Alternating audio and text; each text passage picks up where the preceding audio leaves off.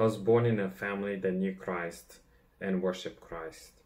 My parents took me to church and dedicated me to the Lord when I was just a few months old.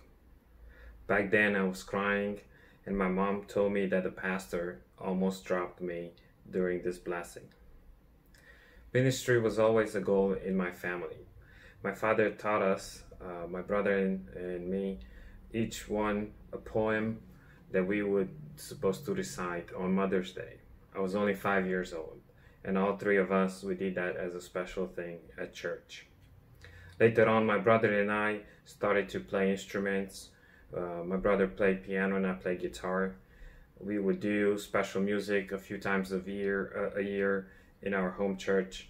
But from time to time, my father and my brother and I travel around the uh, surrounding villages, and my father would preach the gospel, and we would worship by playing our instruments. I know that I accepted Christ as my Lord and Savior on a New Year's Eve day in the 1990s when my home church had a special service. A country singer was uh, the special guest, and his testimony on how Jesus transformed his life moved me. I wanted to have a similar life filled with the power of the Holy Spirit. As a teen, I attended a public school affiliated with my home church. There I grew even more in the knowledge of the Word of God.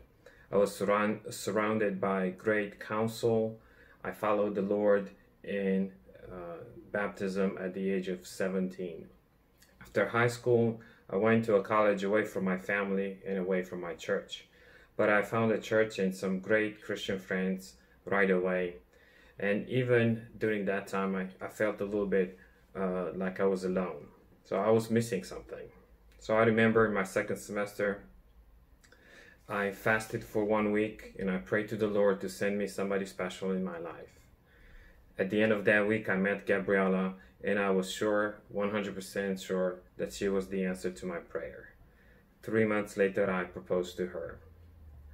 Uh, we dated for two years and then we got married uh, in my junior year so we were about to finish college, and I attended this presentation uh, about teaching in South Carolina.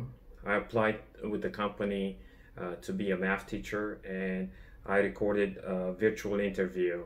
And this was back in 2003 when the internet was only uh, at the level of dial up. I didn't tell my parents about all of this because nothing was sure. Uh, I had no um, evidence that I will be able to come to United States. I graduated on June 30th. I finished everything for school. The very next day, we traveled to Bucharest and applied for a visa. Uh, we were granted a visa at the end of that day, so I called my mom and I told her that I was going to United States.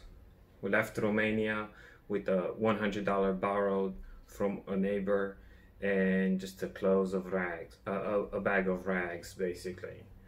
Um, and after three years in South Carolina, we had to go back to Romania, but we were thinking about what would be a way for us to stay in the United States. So the process was challenging, and I remember at one point in time we wanted to give up, and we were supposed to send a fax saying that we renounce uh, all our application and we would just go back to Romania. And uh, that day, when I uh, the secretary asked me to send the fax by myself, I just placed the paper I upside down, and basically I sent a blank fax. So uh, our application continued, and God did a wonderful miracle, and we were able to find a job in Farmville, Virginia. Now we signed the papers and the contract for that job within 14 days of our visa being expired. And uh, Prince Edward County applied for a visa on the very last day that we were legally allowed to be in the United States. And uh, I remember how much we grew through this uh, decision. Later on, we applied for a green card. This application took about six to seven years. It was a long process and we're uh, grateful to Concord Baptist Church for helping us in this process. And we matured a lot. In 2013, Uh, we had to leave United States because our process was audited, and during that time, it was a similar time to the pandemic. We had no job, we had no income, and we had no place to stay that we could afford. And um, one of my uh, students, his parents offered to for me to take care of their house, and I lived in a nice house, three-story house, for free for six months, which was such a blessing. Um, I remember thinking that uh, I feel more and more like uh, somebody that was blessed beyond belief uh, during that time than any other time possible. Um, so, my testimony is that life with Christ is always full of interesting things. Ministry is such a blessing, not just to me, but to others as well. So, I encourage you to accept Jesus as your Lord and Savior and to live for Him and to uh, follow Him every day of your life.